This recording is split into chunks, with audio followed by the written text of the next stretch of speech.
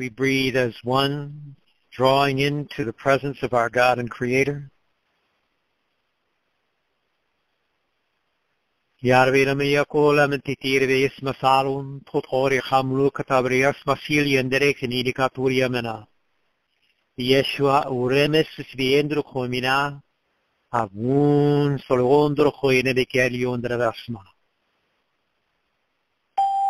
Yahweh, God and Creator, we offer thanksgiving to know that your Spirit guides us in the perfect nature of your divine.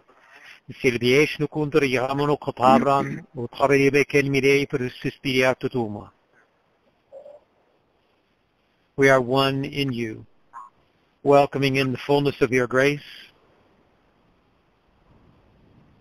the awesome wonder of your glory. We are one in you.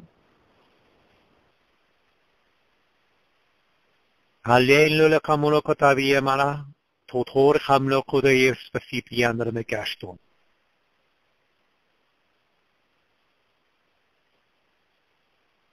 One of the things I'd like to do is kind of step back for a moment, and I know that we're we've been going into the deeper teachings over these past months, and we've been seeing wonderful feedback. I've been getting some beautiful emails and text messages from people offering Thanksgiving for the different messages. And again, I want to state to you that these are messages that I don't even know where God's going to bring me in the night. There's thoughts that go through my mind throughout the week.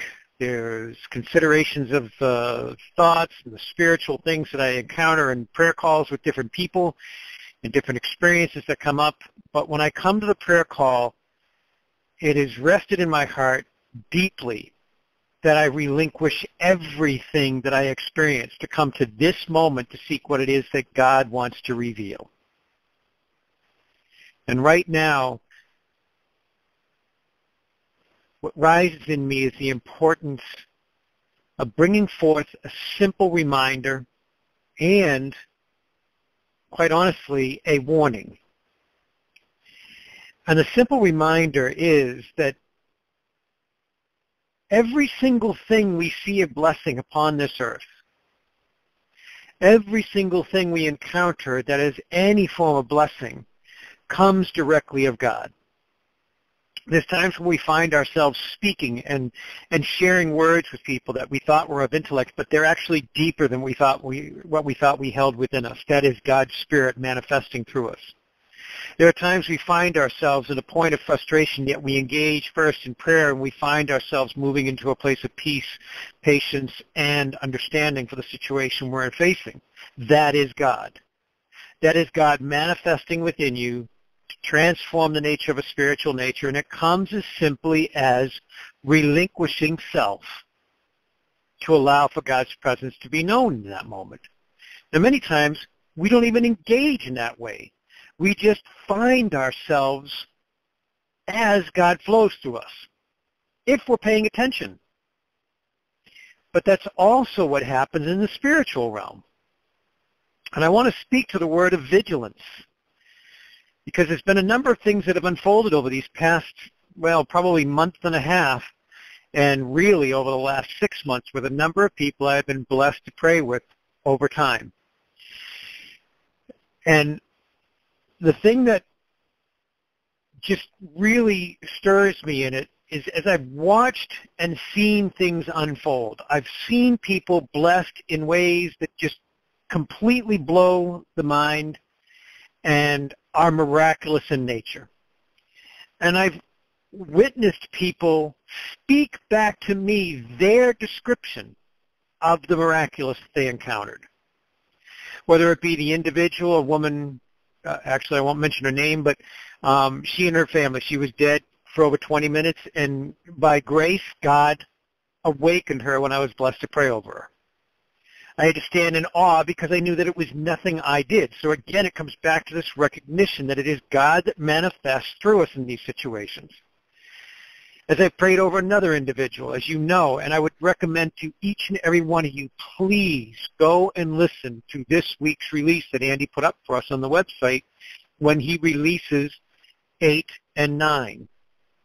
That's episodes 8 and 9 through the YouTube channel. He also sends it out over Facebook. It is important that you remember and understand that not only does God flow through us in the state of blessing, but the spiritual realm flows through us in the times when we have shut ourselves off to God's presence and we just find ourselves in the midst of a situation, argumentative, yelling or screaming at somebody or upset, angered, or even in the point of swearing where we take on the spirit of profanity or something like that. And we don't even realize that we're in it until all of a sudden we have done it and we're going, oh my God, I, I, I did this again. And the spiritual process is unfolding all the time. And I've said this to you many times. Are we honestly vigilant in the nature of our actions, and if they do not align from the nature of God, are we taking pause and centering into God's presence to release the things that do not align with God's presence? Are we taking pause when God comes through us in a remarkable way and offering thanksgiving for what we witness? And in that vigilance, we will recognize God's presence. And I would ask that each and every one of you, when you encounter a time that you found yourself speaking above your own standing of life or understanding or knowledge, please, please consider journaling these moments. Sit down prayerfully and allow for God to help you to write down and physically set a stake in the ground that says there, that was where God flowed through me. That was where I met God in my time of need. That was where God blessed somebody else in a time of need. And please journal these things. And I say this to you because I have watched over these past now 20 plus years, 30 years, where I have seen things of a miraculous nature unfold and kept my mouth quiet until people spoke and described the nature of the experiences that they themselves encountered as we prayed. And when they described these things, they described them as unexplainable. They described them as only God. The peace they knew, the restoration they knew, the physical healing they encountered, the healing and transformation throughout their family or the corporate body that they serve but the reason why I'm trying to point out the importance of vigilance in this is because many times I have witnessed this for thousands of people. And then I'm blessed to encounter some of these people one year, two years, five years, six years, seven years later. And they don't even have the first recollection of anything that they experienced. And quite frankly, I've been confounded by that. Because in many cases, I journaled their words. And I ask them, in some cases, could we pray? And they say, well, yeah, you know, I love when you do that Yahweh thing.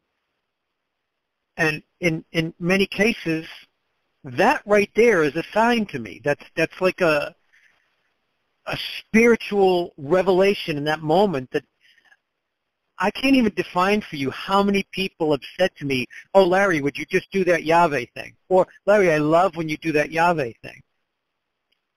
This is not about a Yahweh thing. This is about Yahweh, God and Creator, that perfect, holy, and blessed name. And we remain vigilant. Did we just look at that with a cavalier attitude? So much so that we became cavalier that we can't even touch the remembrance of the miraculous things God did for us. And as I sat with some people over the phone, I'm like, well, do you remember when we were going through this? And they were like, well, well, you know, I kind of remember touching base with you, and you know, we kind of prayed about this and we talked about that. And I'm like, yeah, well, do you remember when you called me and you told me about this situation? Like, oh, well, I don't know. And I and then I'll read to them. God usually wakes up to me in prayer, but there's been times where I pull up the journal. Most of the times it comes out of me in prayer in actual specific language that the person shared with me. Not my perceived notion of what they experienced, but their view. Now, God gifts me with an awareness that I can see into the situation and I can see the spiritual things being transformed, released. God making new the things within the order of principalities. However, I want to hear what other people's experiences are within this. And as I have done that with some of the people that have called and said, you know, I, re- I really need God's presence. I really need to pray with you. I really need to engage. And I'm like, okay, do you remember we're in, we've done prayer and they're feeling blessed again. And I, and then they're still kind of questioning certain things about their lives. And I can say, you know, do you remember what happened when we engaged in prayer five years ago? I remember when you reached out and we engaged in this process. And, and they're like, well, not really. And I, I start to share. And I'm detailing the specifics that they spoke to me. And many times they end up in tears on the phone because they can't believe they can't remember it. And they remember the words that they spoke to me, but they can't remember the experience. And I'm sitting there, what about the vigilance? What about the taking the moment to recognize that this is not just some Yahweh thing that we do. This is revealing the very nature of God within the experiences that we encounter upon this earth and choosing God above those experiences. Becoming vigilant in the recognition that it is God that manifested through our time in prayer, that it is God that brought forth the peace, not some guy named Larry that does this Yahweh thing. But the recognition that it is the one perfect, holy being above all things of creation that literally manifests and actually manifests out of his love for you and out of her perfect wisdom for you. And in my heart, there's been times when I've been looking at people and I'm like seeing that they can't even touch the remembrance of what they encountered. And watch them just fall away from the blessing. And times sitting there, watching them in the fullness of love, unable to even see the blessings that they're presently in. And watching them fall further and further away. But then the encouraging side of the point is where God does bless me to be with them in love once again. And to be able to speak back the words that they spoke to me. And they break down in tears of remembrance. And then I sense within them, by God's grace, the spirits of shame and guilt, the spirits of self-judgment because they can't believe they forgot these things. And I'm like, well, hey, how beautiful is it that you and I together now, we get to release three captives from this moment because you have somehow shifted yourself to a place of shame and guilt and self-judgment for the very nature of what is our human walk. Encountering things of a spiritual nature, releasing them in the fullness of God's love so that the captives might be restored according to God's design, not our ignorance or willfulness. In willfulness, we name them in corruption. In willfulness, we name them as attributes other than God. In ignorance, we define them through our actions in things that do not align with God, through confusion, sadness, perversion, anger, hostility, aggression. But I would ask for each and every person to please, please embrace a vigilant awareness. A vigilance that remembers and knows that each and every time you find yourself functioning at the higher levels of your abilities, the higher offerings to those in need, or the ability to process through things of great suffering, it is because of God within you that you are able to do these things. It is because of God that all things of blessing emerge from.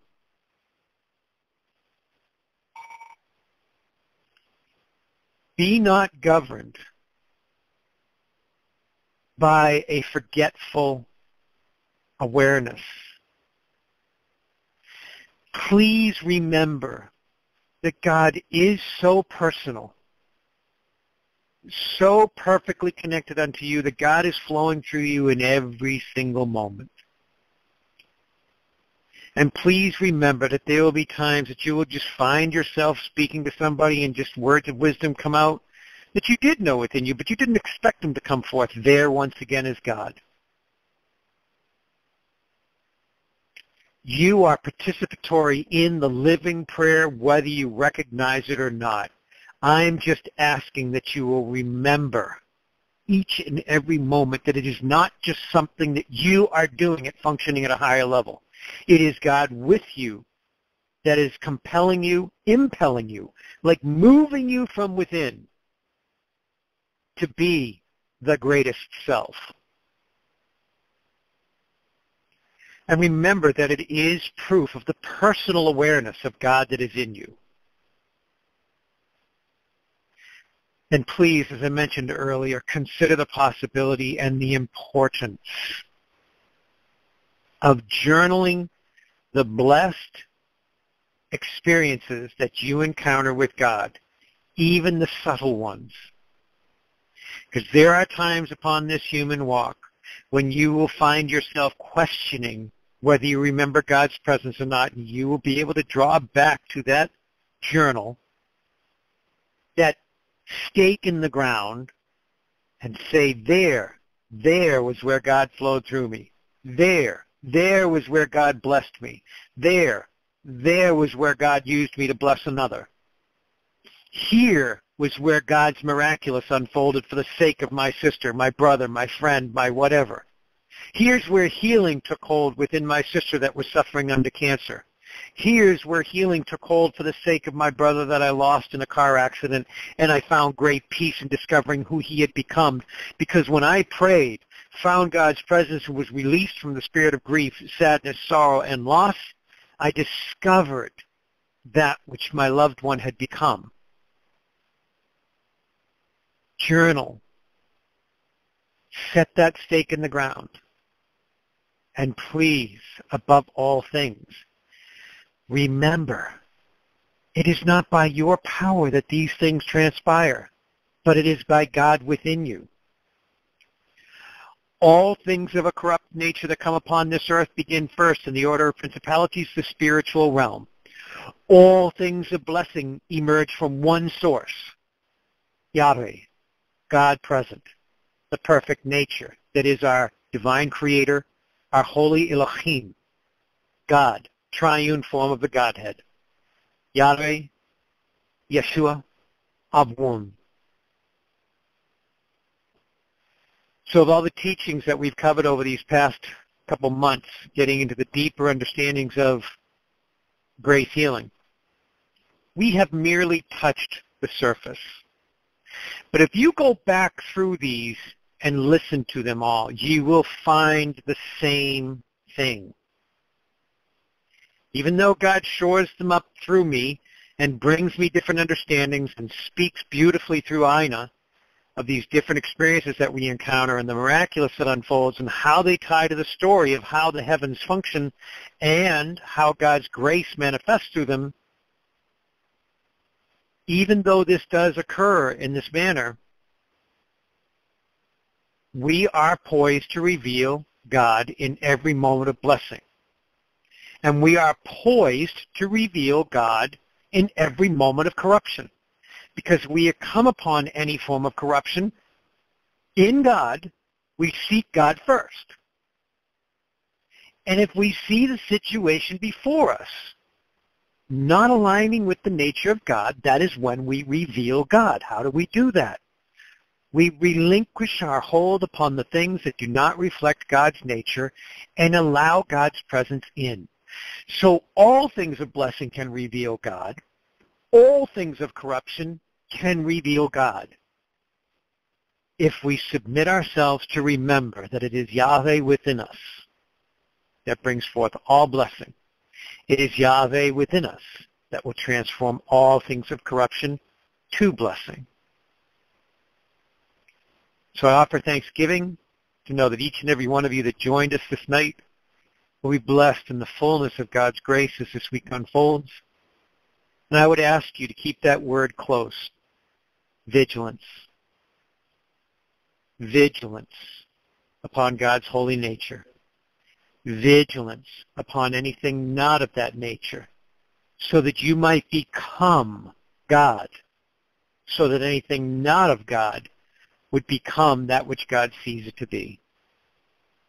And I welcome Ina to speak up and extend her love unto you and to allow for God's love to flow through her as she is led to speak in God's grace. Well, thank you. And uh, I'd like to add to something that was rising in me. And um, I, too, uh, just briefly just share this um, many, many years. And uh, for many, many years, I think I have journaled I don't know how many things that I would just sit and uh, write things uh, to, to God and uh, would reflect back, not realizing how how far along I was in just being childlike with him, especially when we lived up north and raising children out in our sitting at the fire burn barrel, just looking up in the sky and words would flow and seeking him in times of being alone when the kids were at school and shut in in the snow or uh, throughout my years it was just uh, part of that's why I'm so connected in Larry and I and Grace Healing. We have so many things that are in common, but yet I speak in a different way. We're all uniquely different. And so that is important. And I know many of you do journal, and then some of you aren't really led to do so, but it's really uh, I just encourage you to start doing that. Even sometimes God wakes you in the night and you can't get to sleep. And I found myself, well, I wasn't. It wasn't just not going to sleep. He wanted to. I wanted to be with him. So many times I would wake and just be alone with him, to sit and listen to my heartbeat, and he would begin to speak. And I'm that kind of person. I absolutely just am drawn to him and a new song would rise to sing to him or uh, even a new dance and then here I go back to sleep and I wake up my normal time as if I was asleep at 8 o'clock and other times to be an intercession for someone in Africa I found out and I journaled those things, something going on at work. So I just encourage you all as the words being spoken by Larry that that God has a purpose for that, and it's for you to refer back to show that God was with you in everything you have done. And one other thing I'd like to add, you know, we all are going through things in our lives, and mine in particular is one in which transitioned me into great healing, but in my professional career, uh, going through some some things that I had to um, prepare uh, on a um, without going into it legal ground. Had to get some deposition uh, written up um, for some things that occurred and happened to me in my workplace, and it's in legal ground. Well, in that time, without going into it, I had to go back into my notes of my things that I kept from work to to uh, put for the deposition for the EEOC and some other things that I won't go into. But what it did is it, I, I didn't expect it. I just, you know, reading my emails and things that had happened to me that I had kept from uh, certain people that had come, I thought come, had come against me. But it wasn't me. It was those spiritual influences, demonic spirits. And here I am sitting, putting this deposition together for uh, the courts and that kind of thing, and I'm finding myself take sort of they were rising, and and and of course engaged in prayer with Larry. I, I didn't realize that it had affected me and what I went through, and I had journaled a lot of stuff personally, and went back and here they were rising again, and I had to release them. And I had a period of time here, you know, and still going through this but it's not me going through. It's it's revelation. It's a blessing. I'm coming to understand that even to greater, which I sort of knew, but now really seeing the reason why we were here upon this earth as we draw close to God. If we seek Him first, having that personal relationship, we then go out and do the things that he's called us to, those gifts and talents and things we love to do, our career. Whenever we're around people and things rise up and somebody's offended you, well, you release that thing of that, that spirit of resentment or condemnation or whatever that body that you're you've been put into, that is where you're setting the captives free. And it brings you such joy and happiness and love of God for whatever maybe yesterday you didn't care about. And all of a sudden you have this sense of love. You're releasing those captives free back into God's embrace to come into the ground you're in to be blessed. And that's in every breath you take. And how do you get there? From my experience, is being alone with him, having that intimate time. And there is no words to put to that. You can share that all day long. You can read it in a book all the all the days. You could go to the to the bookstore and get whatever book you wanted about how to have a relationship with God. And they're great. I'm not putting those down. Nor the scriptures. I'm not putting those down. Bottom line, our time alone with him. That's where I am totally surrendered and sometimes you wonder the things we go through. I run back to him. I can't do anything until I go first to him.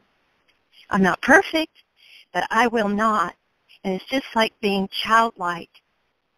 Childlike. Let him take it. Release. And I don't care who you are.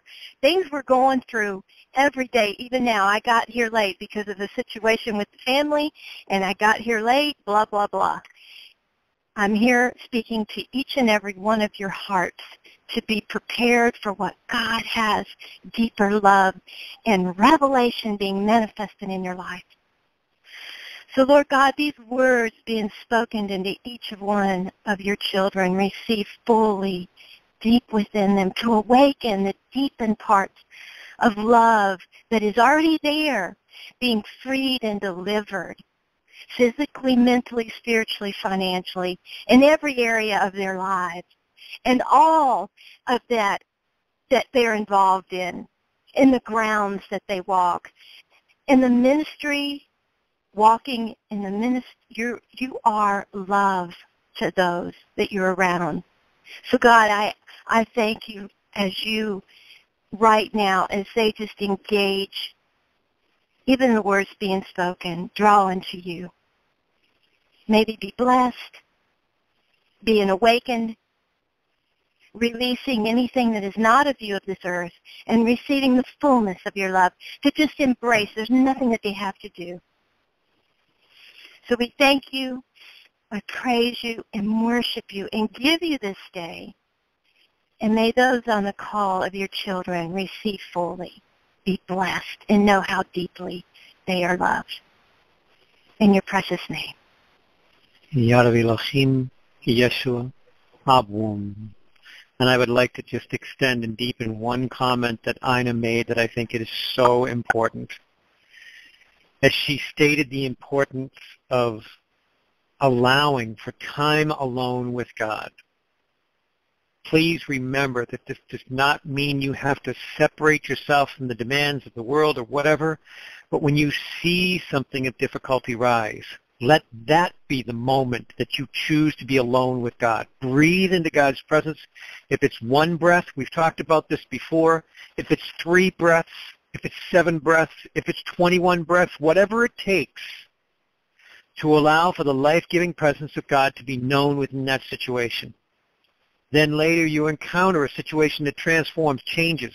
You recognize captives being drawn into God's love and you see something of a miraculous nature rise let that be the moment to be alone with God. You could be in the standing in the middle of a crowd and still be alone with God, honoring God to recognize in awe, not fear, but in awe, the nature of God's presence as it unfolds around you, for blessing others, for blessing and revealing God's glory in everything that you do and see. Let that be the time alone. But in addition, honor what Ina said. And do take those moments. When you wake up and you think it's called insomnia, release that lie. It's not insomnia. It's a blessed and holy opportunity to meditate upon God's presence. You will find deeper rest upon your body, even if you had zero hours of sleep. If you meditated upon God's presence throughout that time, I would guarantee you that when your alarm wakes up for school, I mean for work, school, whatever you happen to be doing, you will wake up with a new vigor, a new focus, and a new life. God is that powerful. Are we allowing for that power to flow through, or are we sequestering it and hiding it through spiritual frustration in the spirit of insomnia or whatever happens to be governing us? Are we entering upon our sleep feeling fatigued and not taking the moment to be with God and release the spirit of fatigue, the spirit of exhaustion, to trust and know that God brings us to a holy and blessed sleep? And may you each be blessed in a holy and blessed sleep in God's presence tonight covered within his love, sanctified by his grace, and moved forward to recognize his glory in the days ahead. We at Grace Healings love you dearly and offer thanksgiving for this time. May you each be blessed in every breath you receive. In Yahweh, Yeshua, há. Amém. Amém.